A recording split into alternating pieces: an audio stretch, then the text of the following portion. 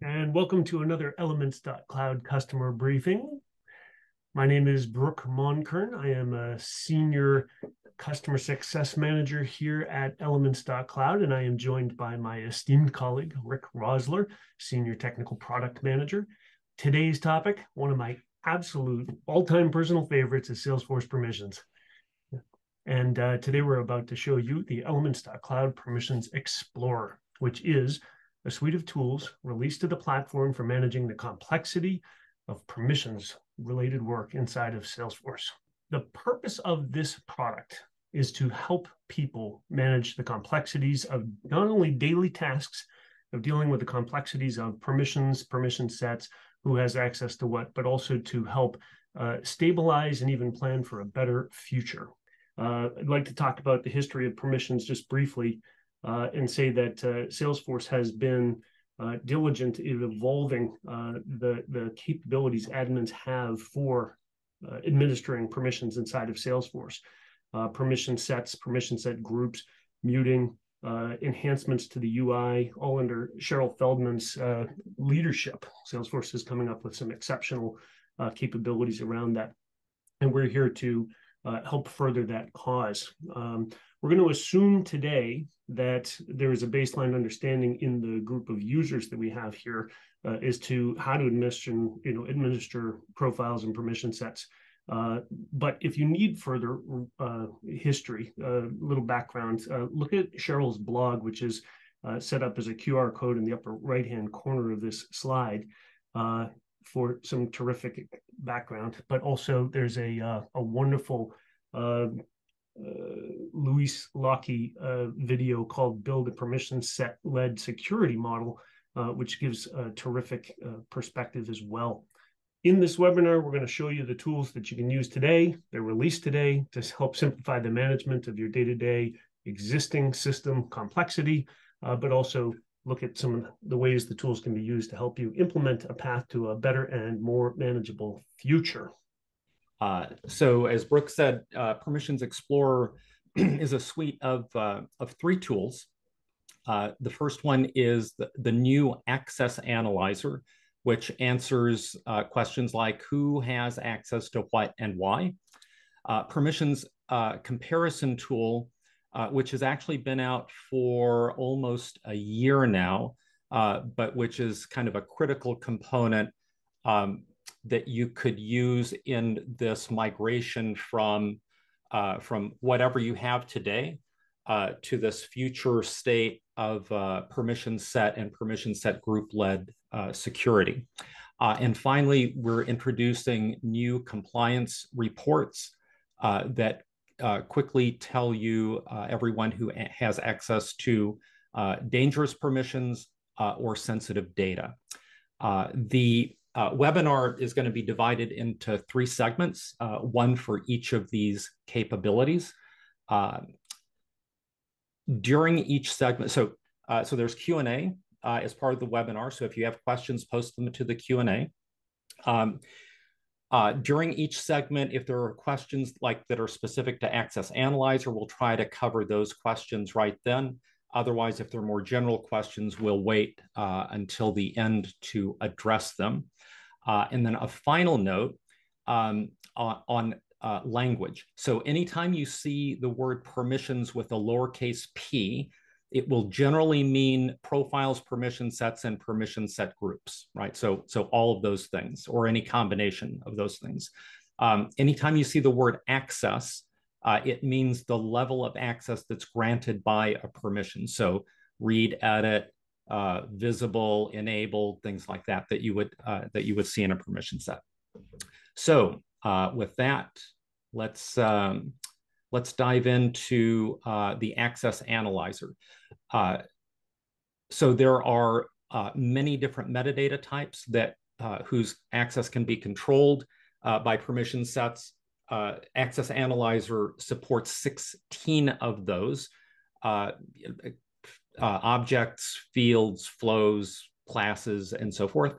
Um, if I pick um, everybody's favorite field, uh, the opportunity stage name field, and I look uh, in Access Analyzer, um, I will be able to see uh, all of the permissions, that's profiles, permission sets and permission set groups uh, that grant access to uh, the stage field, uh, the number of users that are assigned to each of those permissions, uh, and the level of access that's granted by that permission.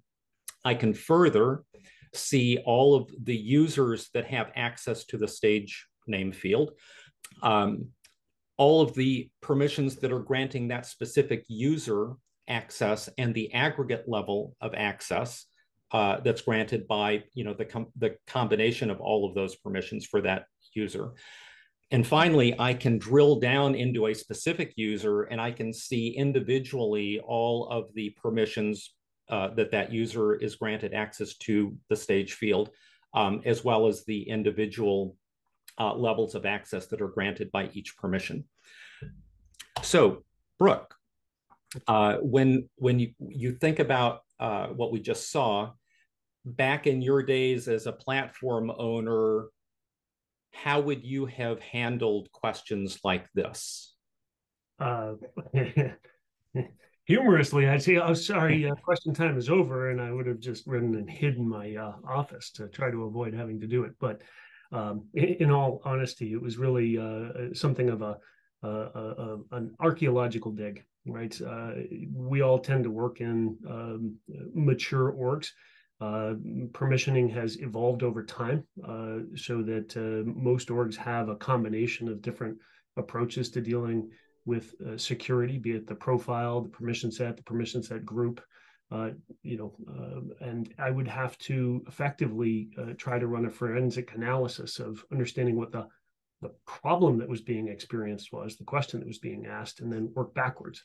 But mostly it was it was manual clicking. I'd have to go through lists of information, searching out the needle in the haystack um, you know, were I better at, uh, uh, you know, writing queries, uh, more recently I could have uh, uh, queried you using Workbench, uh, extracted information and normalized it, but I wasn't particularly good at that. So it's not easy, Rick. It was not easy. I, right. So, uh, so Access Analyzer uh, is designed to uh, to to address scenarios like these, which which we've probably all had uh, uh, in our previous lives or as admins or current current lives as admins. Um, so you have employees that uh, that are in in the same role, um, but they seem to have different levels of access. Um, to something that they that they should both have the same level of access to. So the question is, why are they different? Uh, you have an employee who has access to something that they should not have access to. Uh, so how did that happen? Uh, and finally, uh, there are typically uh, audits that go on, uh, reports that need to be generated on who has access to a particular particular set of, of objects. In this case, um, objects that have to do with revenue recognition. So, so I'm going to do a short demo of Access Analyzer, and we're going to focus on uh, scenario number two uh, about our employee Sam, uh, who was able to make a change to the candidate object, uh, which surprisingly he should not have any access to at all.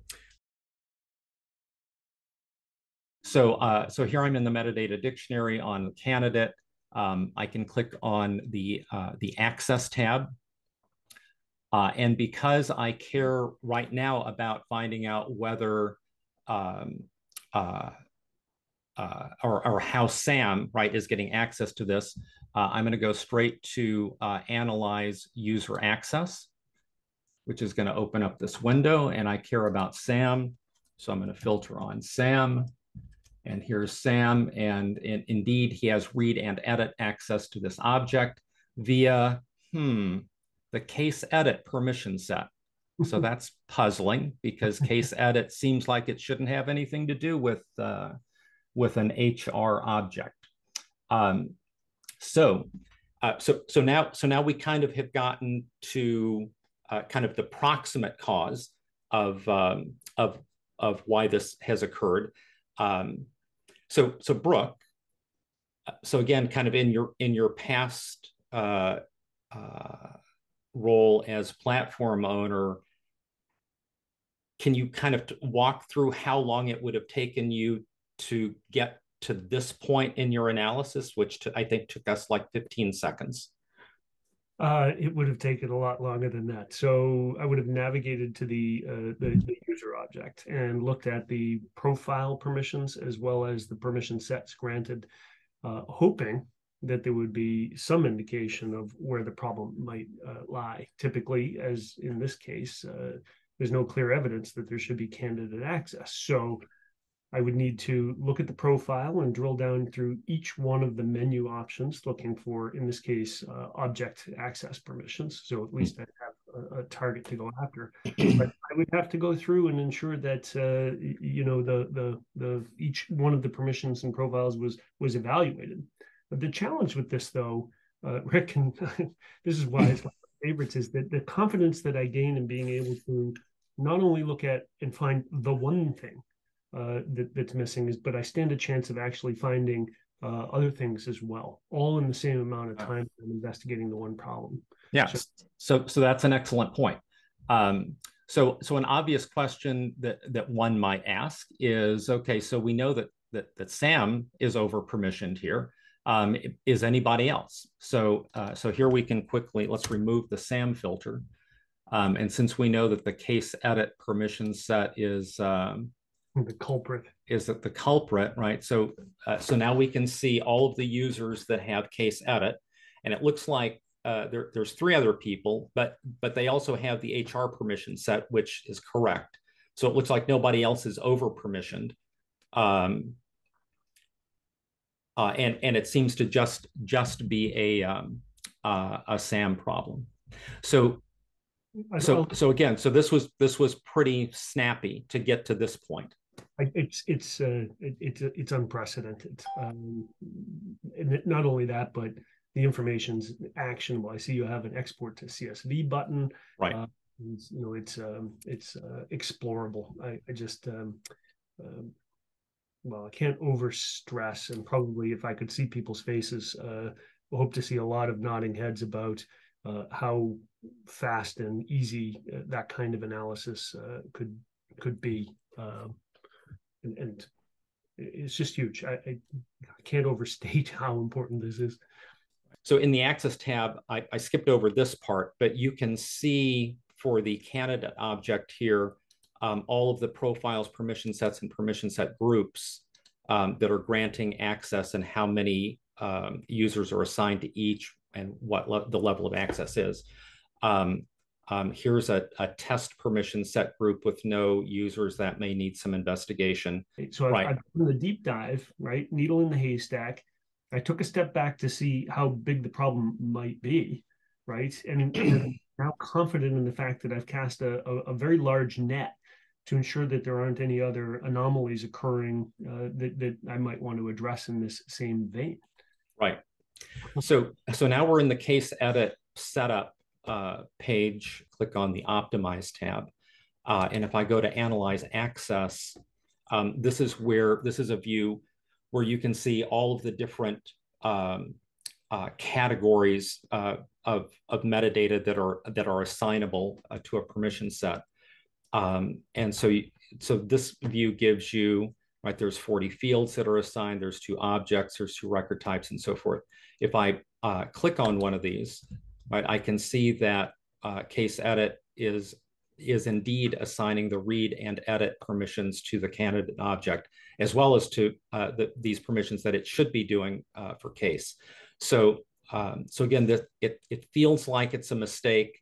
Uh, it probably re, uh, requires some uh, further investigation. Maybe, maybe it's there for some good reason that, that nobody documented. Uh, when would that ever happen? Um, so, so this is um, this is just a quick, a quick um, overview so, so of the of the analyze access. So, uh, so Brooke, do you have do you have anything to add to that? I do. I want to I want to emphasize again that uh, the investigative investi- the investigation you lead into the system will bring you into a number of different areas, all of which can be served by the tooling, right? To give you answers to the questions that you have uh, why is it granting access? Who else has access as a result? Why isn't it documented? Should I document it? Right by talking to the stakeholders and bringing you know the the the information that you need to have an informed conversation get to the root it may very well be, as you said, the case access is granted because uh, and nobody has bothered to document it. So it actually, as a next step, could be not changing the permission back, but making notes so that someone else who encounters the same situation, the same question, actually has the benefit of the work that you've uncovered here, and it's reusable across uh, the enterprise for anybody who who is is uh, you know, landing on this particular uh, situation again. Right. All right. So let's talk about um, let's talk about permissions comparison now, which is the second element.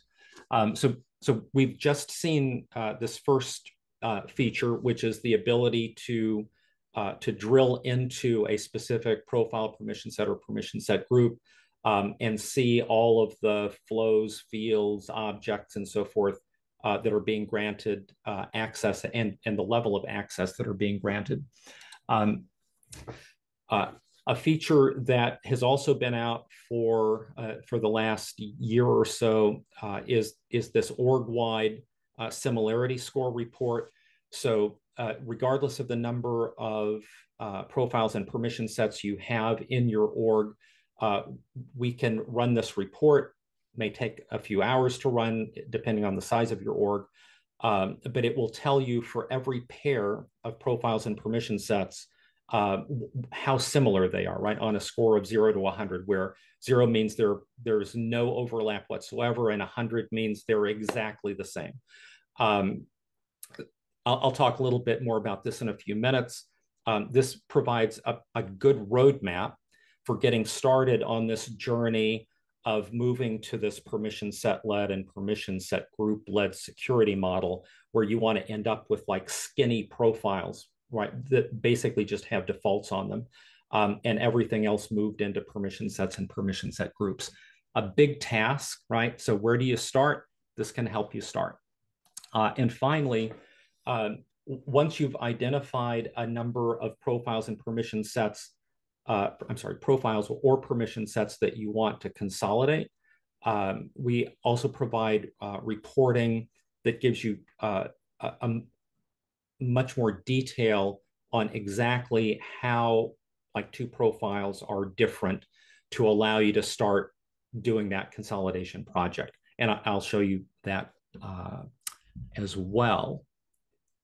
And I'm going to start by going back to the org model, uh, you'll find the, um, the profile and permission set similarity score report um, up here uh, in the, this top toolbar. Uh, uh when you click on it, uh, it'll it'll say it's running, and and again, this is the one that's that's going to do many uh, comparisons. Um, in this particular org, we have about 25 profiles and 75 permission sets. So there's a there's about a hundred things overall. Um, a hundred times a hundred is ten thousand, and half of that is five thousand. So uh, so in doing this comparison, it's it's basically doing five thousand um, uh, calculations, right, to see how similar these things are. You're not going to ask me how I would do that in the old days, are you? Because the answer hmm. I wouldn't. so so this is this is the result. Uh, it creates a CSV. I've imported that CSV into Excel.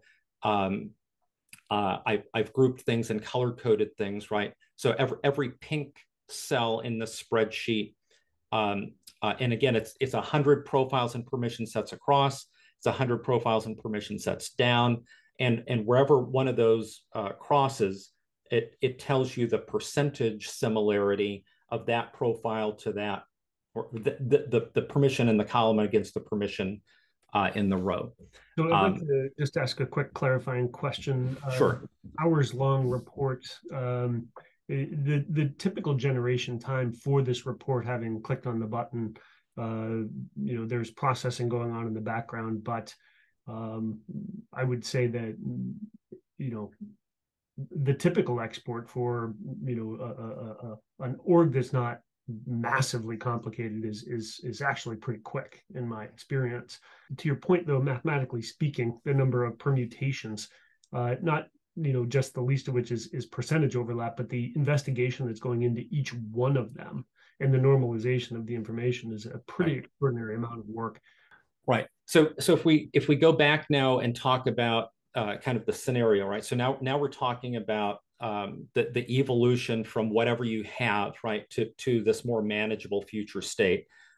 Typically, the one of the first steps uh, in that process, it, it, again, is to try to skinny down your profiles, and so you, you'll want to find profiles that are uh, that are similar, uh, and and and start a consolidation project uh, with those.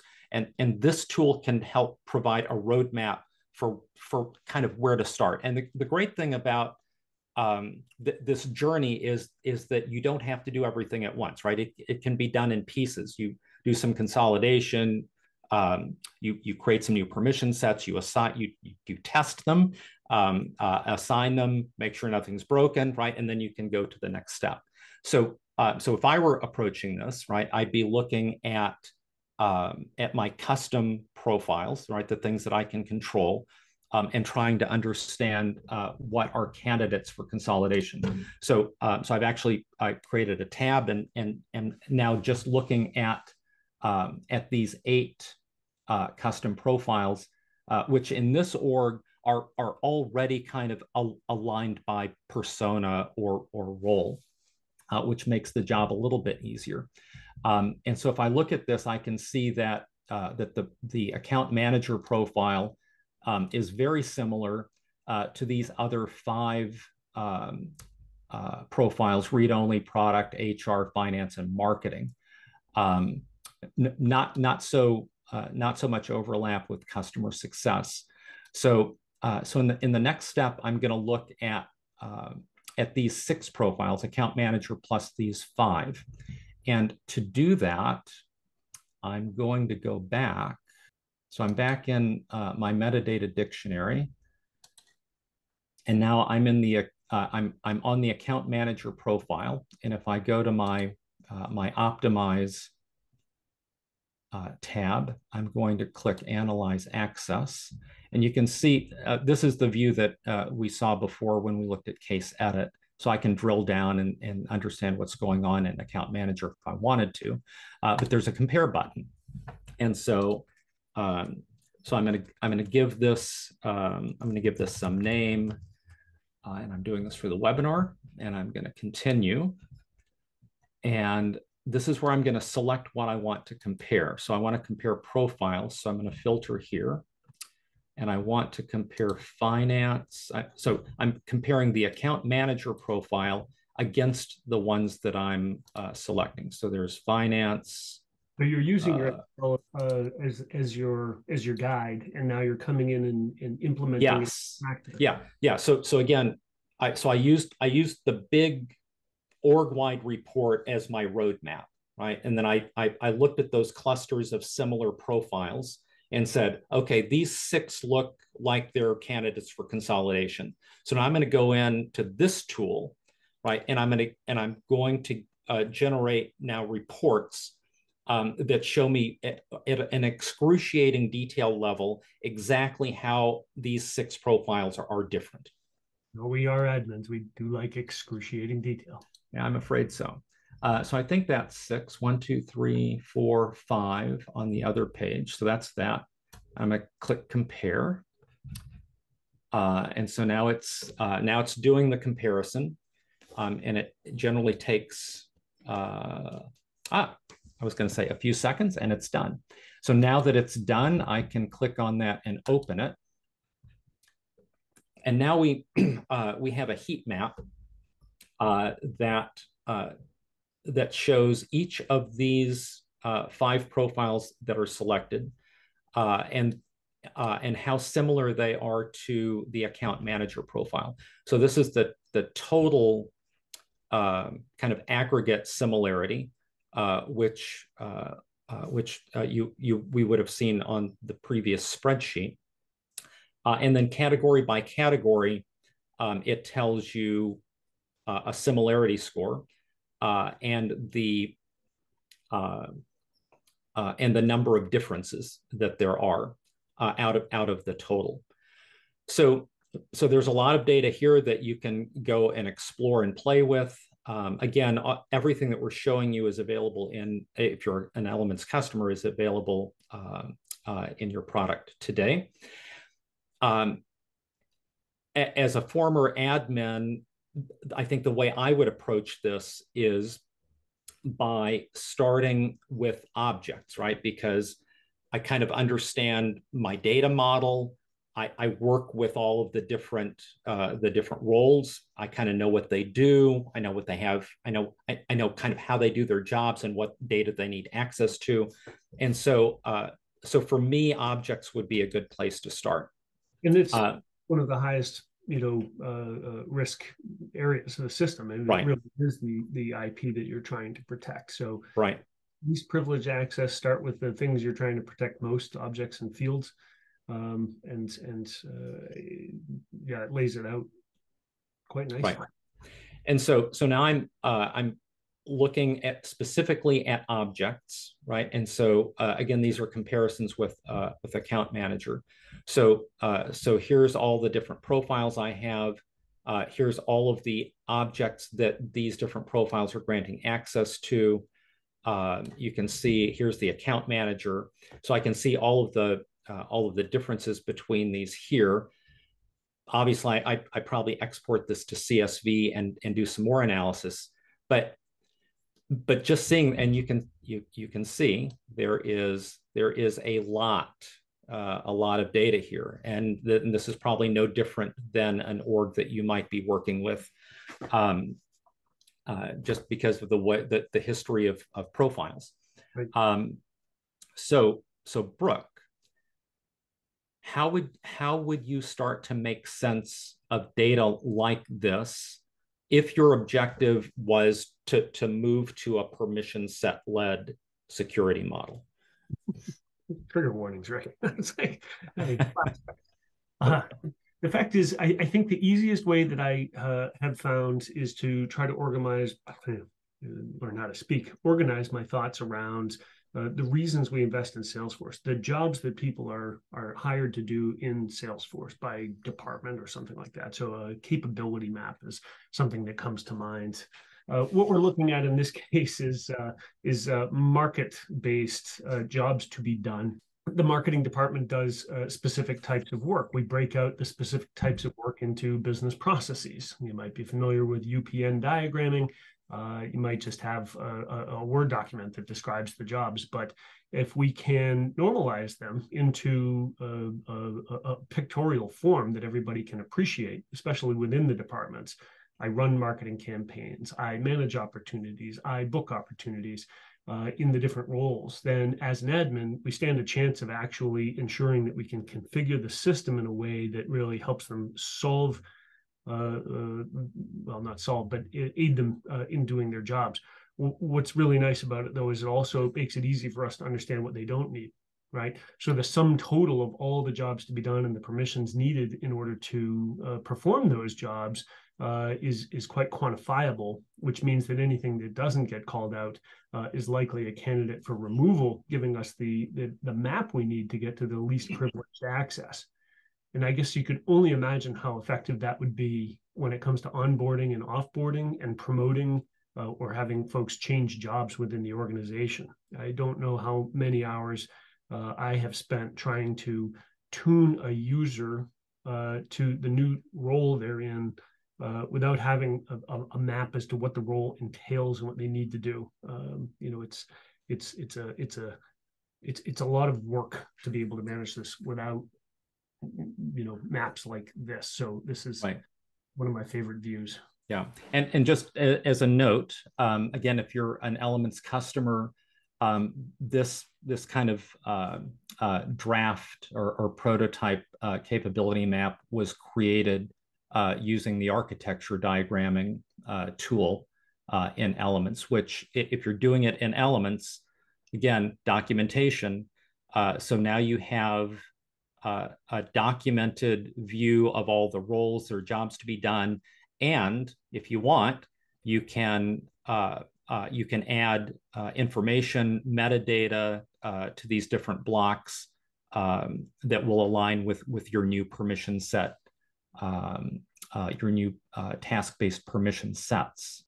The kind of the, the, the journey to get from wherever you are to the, this future state um, is is really a, a two parallel paths. Um, and and uh, we spent a few minutes talking about this because having this uh, uh, capability or task-based view of roles is really important um, understanding so that you can effectively design your task-based permission sets and then group those right in, in into persona-based permission set groups, which is what you what you want to be the core uh, for the assignment um, in the new world to kind of replace you know the, the the the the big beefy profiles that you probably have now. And this is all in keeping with the Salesforce guidance on, you know, uh, where tooling within Salesforce is going. So, right, getting on board with what's going to be a, an extremely bright future in in uh, the the, the uh, releases that Salesforce is doing to support uh, a more sustainable uh, access future. So, right. All right, so so that's basically everything that uh, we have to talk about for the permissions comparison and, and this kind of transformation uh, type of project. Um, I'm going to quickly close uh, with compliance reporting.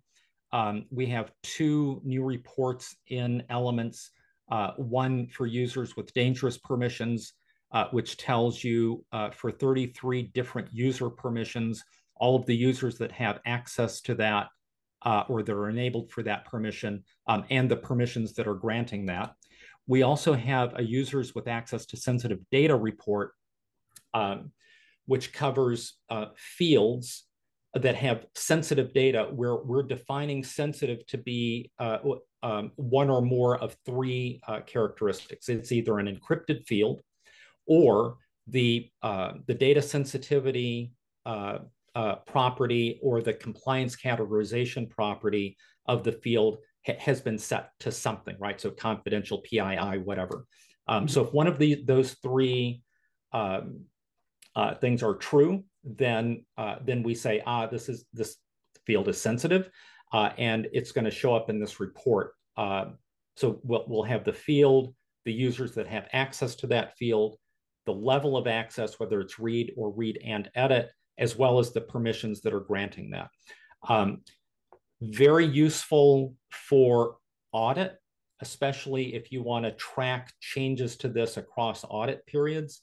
Um, we've seen this um, uh, in a number of customers that, that this this kind of request. Um, so so hopefully this will address that. Um, yeah, and uh, and and these are these are the typical scenarios. You know, uh, the the general counsel needs a report by end of day. When when has that ever happened? Um, on every access that has um, uh, every user that has access to personal data um, on a patient object. Uh, you know, hmm, data breach. You know, who they never tell you why or what happened, right? But they need the the data by the end of the day. Um, uh, Scenario two, basically the same, but now you need to know what's changed, uh, right? So if you have these reports uh, snapshotted across audit uh, periods, you can do that. Um, and then, uh, and then a, kind of a typical request um, from SOX is they want to see uh, users that have uh, access like to modify all data and, and some some of these other typical typically dangerous permissions um, they may want documentation on why those users have uh, access to that uh, permission uh, and so forth, which you know you you could do with other pieces of of elements. So the reports are here. Uh, they're at the very bottom of your list, users with access to sensitive data and users with uh, with the dangerous permissions. Um, in this org, uh, th these reports only take um, a few minutes uh, to run. I've actually already uh, run them and have them queued up uh, here for you. So this is the uh, users with dangerous permissions uh, report. If you're, again, you, you see the user, the link will take you to their Salesforce setup record, the, the name of the, the user permission, um, the permission set uh, that's giving uh, access. If you're not that familiar with elements reporting, uh, you can do things like uh, you can filter. So so like dangerous permissions, we know that um, uh, we know that admins have basically everything. So uh, so depending on what we're doing, we we may want to filter out um, all of the admin related things because it's not that interesting. Um, you can uh, you can group uh, you can group things. Um, permission, API name. So we can do things like this, right? So you can um, get, get this into a little more readable form. Um, obviously, everything, again, is exportable to Excel if you need to snapshot this uh, for record keeping, uh, or if you just need to do uh, more analysis. Um, the users with access to sensitive data report um, very similar uh, users, uh, the object and field uh, that has the sensitive data, um, uh, the, the reason why it's sensitive, right? It's either uh, compliance, uh, data sensitivity, in this case, it's both of those, um, or encrypted. these are not encrypted. Um, and the profile or permission set that's giving that's giving access to that, as well as the level of access. So um, if you have fields and you're particularly interested uh, in everybody that um, uh, that has edit access to a field, for example, you can filter, you know, just for edit. Um, that kind of completes all of the little demo parts. Um, I did want to mention a, a few weeks ago, uh, we had uh, an Elements GPT webinar. Um, uh, obviously, one of the, the newer uh, features of GPT um, is the ability to consume CSVs. And so one of the things that we're working on uh, at Elements, uh, be, because we have all this data, right, and it's obviously all exportable to CSV, um, is, uh, is enhancing uh, the Elements GPT capability um, to actually interact with the permissions data that, that we have in the system so that you can do natural language queries uh, against your permissions data. Um, so that should be pretty exciting. Uh, I, I, don't have a time frame for when uh, that may be available. Um, we're also uh, incrementally making improvements across all three of these uh, pieces of, um, of the Permissions Explorer product. Uh, just so everybody knows, despite the fact that we've taken away the complication of analyzing the permissions and access on the fly, you can still tell people it's complicated. Just because we make it look easy doesn't mean that it isn't complicated. So rest assured, we're not taking away that, that tagline for you. It's still It's true. It, it is very complicated. I mean, there, there's a lot of data that we're providing. Some, some of it, um, as, as we saw kind of in the um, in the uh, why does Sam have access to the candidate object scenario, um, you know, with a few clicks, you can kind of immediately drill down and, and find some really interesting um, information that that's immediately actionable. In in some of these other cases, um, like when we're looking at um, uh, like profile consolidation, uh, it we're we're making the the acquisition of the data that you need simpler, but to actually do the work, it's still hard. It's still hard. Um, but hopefully these tools, you know, the, the, the road mapping piece as well as the analysis pieces um, will, will make it um, tractable, right? So, so that, uh, and, and take some of the fear out of the process. Uh, are all three portions of permissions currently available to Elements customers? Yes, they are.